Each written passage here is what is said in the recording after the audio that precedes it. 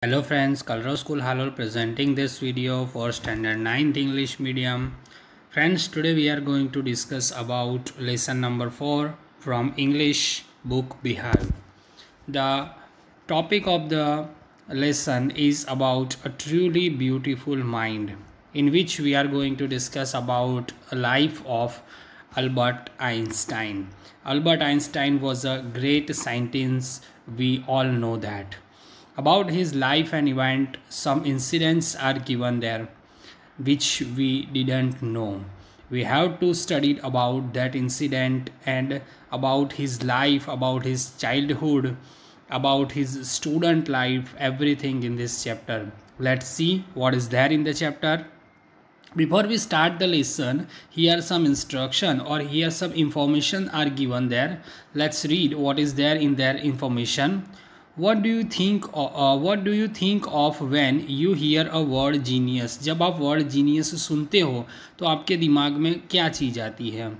Who is a genius genius कौन होता है? What qualities do you think a genius has आपको क्या लगता है कि जीनियस अगर कोई होता है तो उसके अंदर क्या क्वालिटीज़ होनी चाहिए? क्या खासियत होनी चाहिए जीनियस के अंदर? We shall now read about a young German civil servant who took the world by storm about a hundred years ago हम जो है वो अब एक ऐसे जर्मन सिविल सर्वेंट के बारे में आज स्टडी करने वाले हैं, जिसने पूरी दुनिया को हिला के रख दिया था हंड्रेड ईयर्स एगो मतलब सौ साल से भी पुराने टाइम पीरियड की अगर यहाँ पे बात करें तो एक जर्मन सिविल सर्वेंट था, जिसने अपने खोज से, अपने इन्वेंशन से अपनी डिस्कवरीज से पूरे वर्ल्ड को हिला के रख दिया था।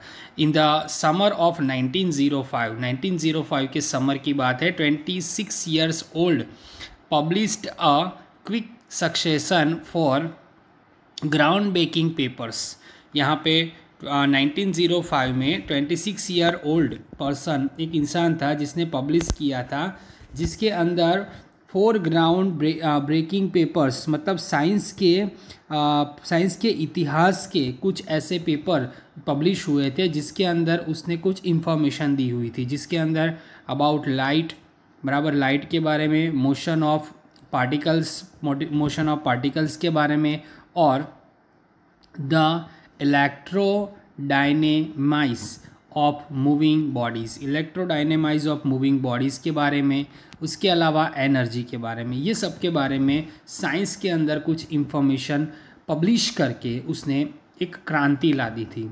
His work took up only a few pages in scientific journals उसका जो काम है, वो कुछ ही पेजों के अंदर साइंटिफिक जर्नल के अंदर, कुछ ही पेजों के अंदर लिखा गया है।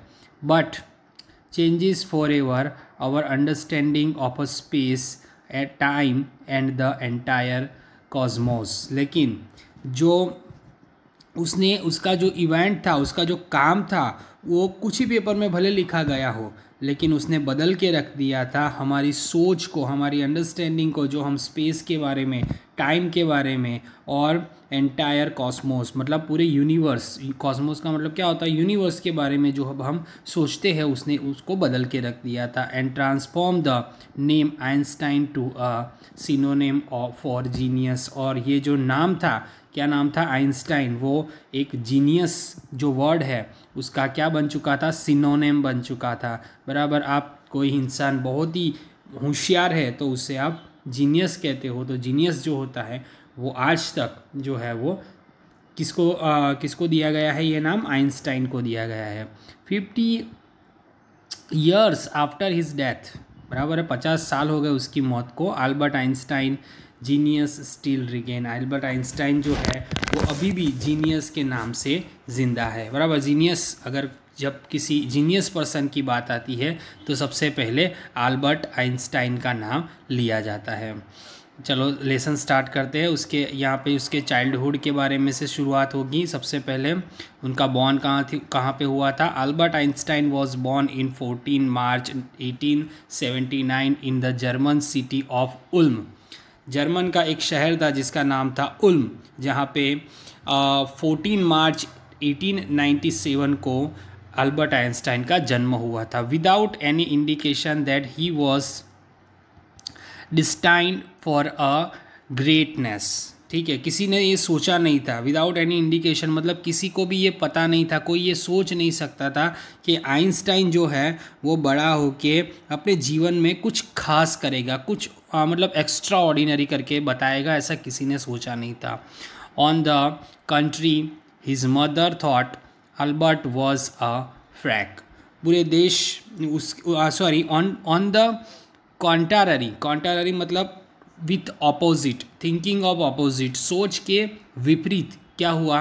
अल्बर्ट आइंस्टाइन की मदर तो ये सोचती थी कि अल्बर्ट जो है वो क्या है? फ्रेक है। मतलब फ्रेक का मतलब क्या होता है? जो कॉमन बच्चे होते हैं, उनकी जो आईक्यू होती है, उससे भी वो एकदम नीचे है, ऐसा उसकी मदर सोचती थी जब अल्बर्ट आइंस्टाइन छोटा था तो। To her his head seemed much too large और उसके लिए उसका जो सिर था, वो बहुत ही बड़ा था। मतलब उसका साइज़ की बात कर रहे हैं कि उसका सिर जो था, वो साइज़ में उसको काफ़ी बड़ा लगता था। At the age of two and a half Einstein still wasn't talking ढाई साल की एज तक तो आइंस्टाइन ने बात ही नहीं की। When he finally did learn to speak he uttered everything twice जब वो बाद में बोलना शुरू किया तो वो हर एक वर्ड को दो बार बोलता था। Einstein did not know what to do with other children Einstein को पता नहीं था कि दूसरे बच्चों के साथ किस तरीके से बिहेव किया जाता है, किस तरीके से रहा जाता है। And his fellow mates called him boring brother fellow mates का मतलब क्या होता है? उसकी एज के जितने भी बच्चे थे, उसके साथ खेलने वाले जितने भी बच्चे थे, वो उसको ब्रदर बोरिंग के नाम से बुलाते थे। क्योंकि उसको खेल में फ्रेंडशिप में कोई इंटरेस्ट था नहीं। That's why that boys are call him boring brother उसको बोरिंग ब्रदर के नाम से बोलते थे। So the younger sorry so the youngster played by himself ये जो बच्चा था, ठीक है, वो अपने आप ही अकेले अकेले खेलता था। मच ऑफ़ टाइम ज़्यादातर टाइम वो अकेले खेलता था।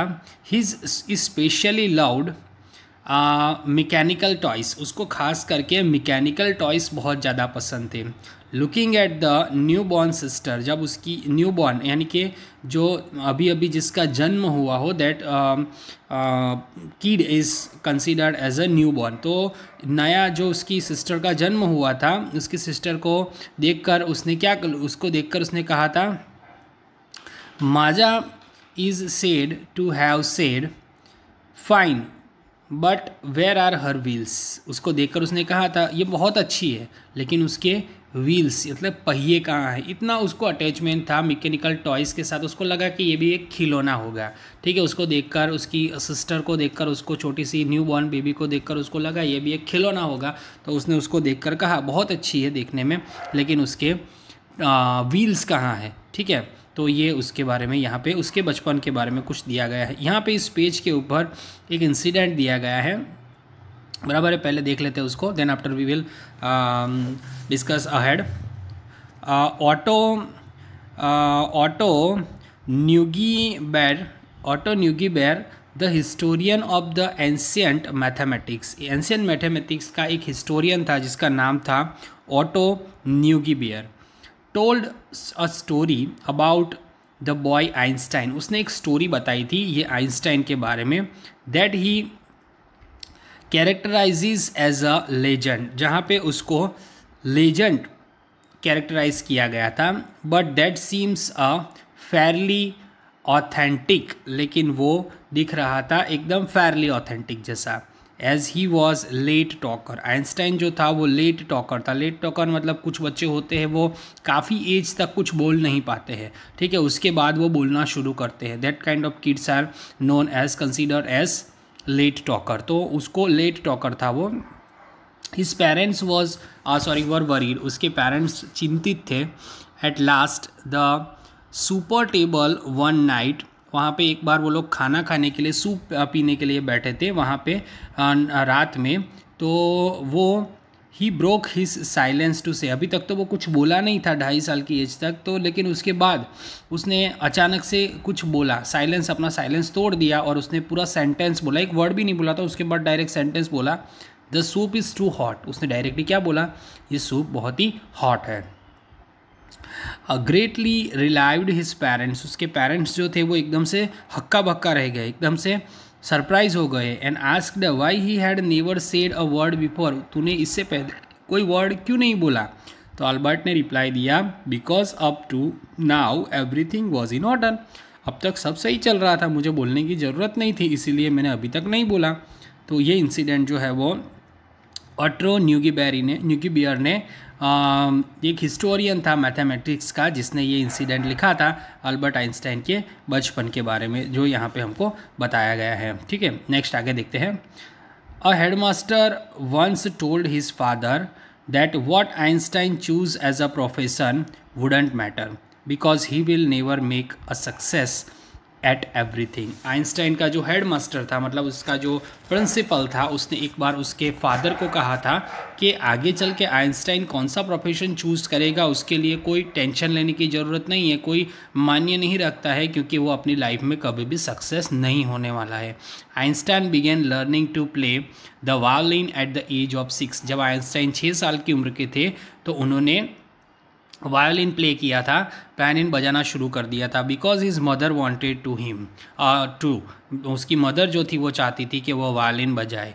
He later become a gifted amateur violinist maintaining the skill throughout his life और उस, आगे चल के वो वायनलिस्ट बने, बराबर प्रोफेशनल नहीं बने, बन पाए, लेकिन बहुत अच्छे, बेहतरीन बजाने वाले वायलिनिस्ट एमेंचियर मतलब बहुत अच्छा कोई इंस्ट्रूमेंट प्ले करने वाले वायलिन वायोलिन प्ले करने वाले doing something for a personal enjoyment rather use as a profession ठीक है? यहाँ पे उसका मीनिंग दिया है एमनचुअर का कि कोई चीज़, बराबर है, कोई चीज़ क्या होती है जो पर्सनल एन्जॉयमेंट के लिए बजाई जाती है प्रोफेशन के लिए नहीं बजाई जाती है। तो वायनलिस्ट बने आगे चल के और मेंटेनिंग अपनी जो स्किल थी उन्होंने पूरी लाइफ तक उसको मेंटेन किया हुआ था। भाई पूरी लाइफ तक वो ये चीज़ को एन्जॉय करते रहे। But Albert Einstein was not a bad people Albert Einstein कोई ख़राब पीपल मतलब स्टूडेंट नहीं थे। He went to high school in Munich वो म्यूनिक के अंदर हाई स्कूल गए थे where Einstein's family had moved when he was fifteen months old जहाँ पे म्यूनिक के अंदर आइंस्टाइन की फैमिली शिफ्ट हुई थी जब वो पंद्रह महीने के थे। And score good marks in almost every subject और आइंस्टाइन जो थे, वो लगभग सारे सब्जेक्ट्स के अंदर अच्छे मार्क्स लाते थे। Einstein hated the school's regimentation and often clashed with his teachers Einstein जो थे, वो रेग्यूमेंटेशन का मतलब होता है ऑर्डर और डिसिप्लिन टेकन एंड एक्सट्रीम जहाँ पे डिसिप्लिन बहुत ज़्यादा स्ट्रिक्ट होते हैं, ऐसी स्कूल तो स्कूल के जो ऐसे रूल थे, जो स्ट्रिक्ट रूल थे, उससे वो काफ़ी हेट करते थे, काफ़ी नफरत करते थे और उनके टीचर्स के साथ कई बार उनका क्लैश हो जाता था, झगड़ा हो जाता था. At the age of fifteen जब पंद्रह साल की एज थे आइंस्टाइन फेल्ट सो स्टीफ्ड स्टिल्फ का मतलब दिया है अनेबल टू ब्रेथ बराबर, उनको ऐसा सफोकेशन जैसा लगने लगा सफोकेटेड लगने लगा, घुटन जैसा महसूस होने लगा वहाँ पे कि भाई, मैं अब यहाँ पे ज़्यादा बैर नहीं कर सकता। There that he left the school for good और उन्होंने अपने अच्छाई के लिए उसको छोड़ना सही समझा। बराबर अल्बर्ट आइंस्टाइन को वो स्कूल, वहाँ के टीचर्स, वहाँ के जो रूल्स थे वो इतने अच्छे नहीं लगे। The previous year Albert's parents had move to the Milan और उसके आगे साल, उसके पिछले साल जो थे, वो अल्बर्ट आइंस्टाइन के जो पेरेंट्स थे, वो मिलान शिफ्ट हो गए थे। बराबर है, वहाँ पे वो चले गए थे and left their son with there with relatives और उस, उस उन्होंने अपने बच्चे को अपने रिलेटिव के पास छोड़ा हुआ था।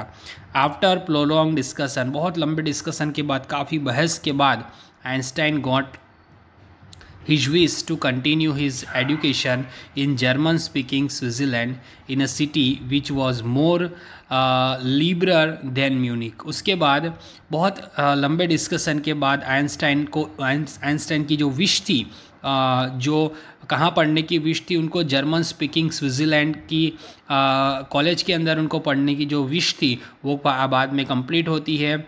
जो म्यूनिक का म्यूनिक जो शहर था, वहाँ की जो स्कूल थी, उससे काफ़ी लिबरल जो स्कूल थी। वहाँ पे जो रूल्स थे, वो इतने स्ट्रिक्ट नहीं थे तो उनको परमिशन मिल जाती है लास्टली कि वो वहाँ पे जाके पढ़ाई कर सकते हैं।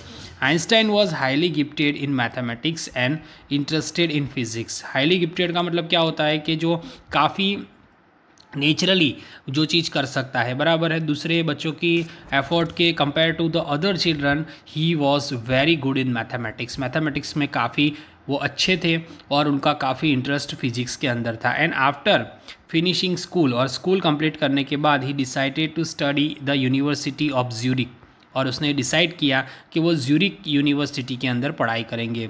But science was wasn't the only thing that appeal to the dashing young man with a walrus mustache walrus mustache मतलब वॉलरस जेटली जैसी जो लंबी लंबी मूछे थी बराबर here you can see the youngest the younger Einstein जो दिखने में काफ़ी हैंडसम लग रहे हैं बराबर एक हीरो टाइप पर्सनालिटी उनकी थी।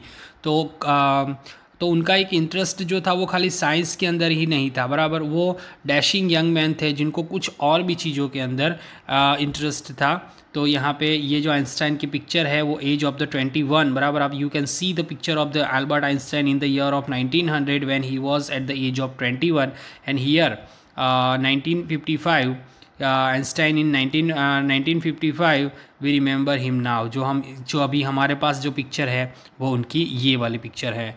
तो यहाँ पे आइंस्टाइन के कॉलेज uh, के रिलेटेड उनके लव अफेयर्स के रिलेटेड बात होने वाली है। He also felt a special interest in a fellow student एक उनके साथ फेलो स्टूडेंट मतलब उनके साथ पढ़ाई करने वाली एक स्टूडेंट थी जिनके अंदर उनको आ, जिस जिसके अंदर भी सब पढ़ाई के अलावा भी उनको इनके अंदर इंटरेस्ट था। बराबर है जिनका नाम था मिलेवा मैरिक। मिलेवा मैरिक जो थी उसके अंदर उनको इंटरेस्ट था। Whom he found to be a clever creature जो उनको लगता था कि वो एक होशियार होनहार क्रिएचर है। This young Serb had come to Switzerland because the university in Zurich was one of the few in Europe where women could get degrees.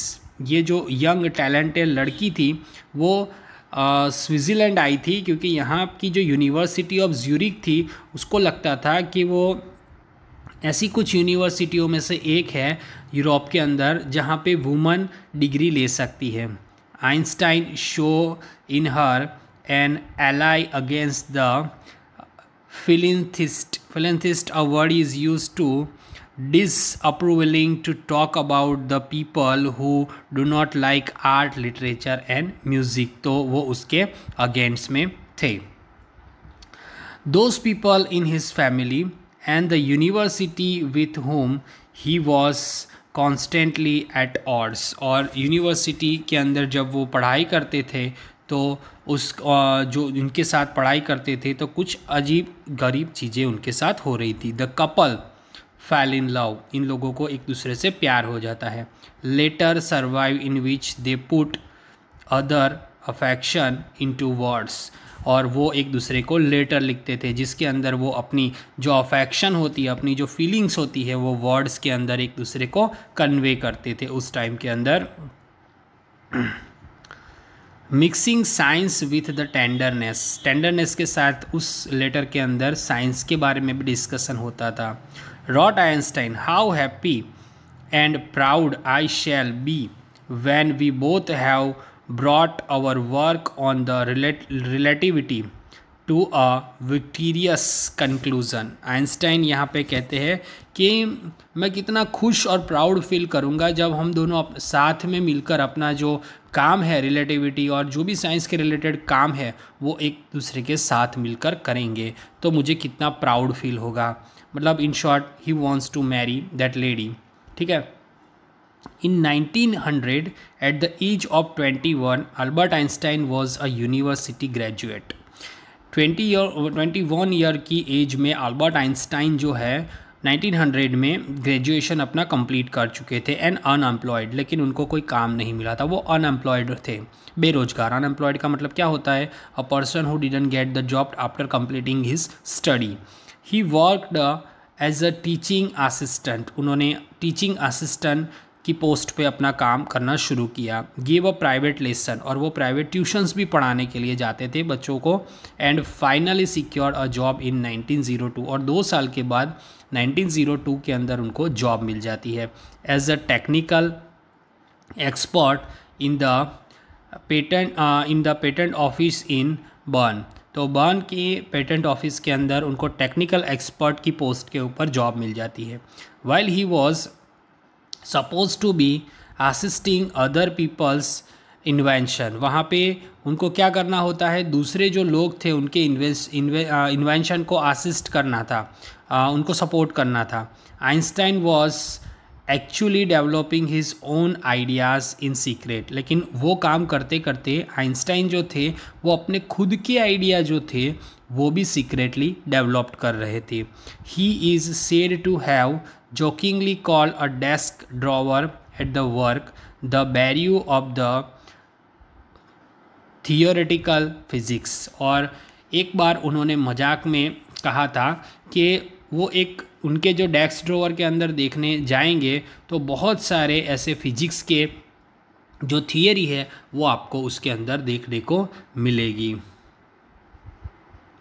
One of the famous papers of 1905 was Einstein special theory of relativity एक बहुत ही famous paper 1905 के अंदर, जिस जिन्होंने, जो Einstein की special theory थी, जो थियरी किसके ऊपर थी? थियरी ऑफ़ रिलेटिविटी के ऊपर थी। अकॉर्डिंग टू अब थियरी ऑफ़ रिलेटिविटी क्या थी? तो उसके अंदर time and distance are not absolute time और डिस्टेंस जो होता है, वो एग्जैक्ट एप्सुलेट नहीं होता एप्सुलेट का मतलब क्या होता है? Measured in itself not in relation to anything else तो वो एप्सुलेट नहीं था। कौन कौन? टाइम और दूसरी कौन सी चीज़ की बात की गई है? टाइम और one minute let me find out time and distance ठीक है? Time and distance are not in absolute in the two perfectly accurate clock अब यहाँ पे एक एग्जांपल दिया है कि वो बता रहे हैं कि दो एक्यूरेट चलने वाली कंप्लीट चलने वाली जो क्लॉक होती है, घड़ी होती है जो वॉल क्लॉक होती है will not continue to show the same time if they come together again after a journey if one of them has been moving very fast relative to other दो complete चलने वाली घड़ी, जो comparison की जाए तो एक घड़ी अगर ज़्यादा फास्ट चलती है और दूसरी घड़ी उसकी कंपेयर में थोड़ा स्लो चलती है तो वो एक जैसा टाइम कभी नहीं बताएगी। From this follow the world's most famous formula और उसके ऊपर से दुनिया का बहुत ही famous formula which describe the relationship between mass and energy जो डिस्क्राइब करता था रिलेशनशिप किसके बीच में? मास और एनर्जी के बीच में। यहाँ पे उसका डिस्क्रिप्शन दिया गया है। What is there E is equal to M C square ये मैथमेटिकल इक्वेशन है. E is stand for energy M किसके लिए है? मास के लिए है. और सी जो है वो स्पीड ऑफ़ लाइट के लिए है. In a vacuum about three lakh kilometre per second बराबर? जो लाइट की स्पीड होती है. एक आ, से, एक सेकेंड के अंदर वो तीन लाख किलोमीटर जो है वो जा सकती है. उसकी स्पीड है. वैन यू अब यहाँ पे उसका एक एग्जांपल दिया हुआ है. When you theory of relativity का when you sit with a nice girl for two hours आप कोई बहुत ही अच्छी लड़की के साथ, सुंदर लड़की के साथ आप दो घंटे तक बैठोगे it seems like to two minutes तो आपको लगेगा कि आप दो ही मिनट बैठे हो। When you sit on a hot stove for two minutes लेकिन जब आप कोई गर्म स्टव के ऊपर बैठोगे दो मिनट के लिए it seems like two hours तो आपको लगेगा कि आप दो घंटे से बैठे हो। That's relativity. ये क्या है? रिलेटिविटी है। Albert Einstein. ये किसका सेंटेंस है? अल्बर्ट आइंस्टाइन का सेंटेंस है। Friends in this video we stopped till here in about this beautiful lesson a truly beautiful mind ठीक है? यहाँ तक का एक्सप्लेनेशन आप लोगों को समझ में आया होगा। I hope so related to this video whatever the question answers are there that i will send you through the pdf you have to write down that in your notebook only. In our next video we will discuss about the remaining part of this lesson. Okay bye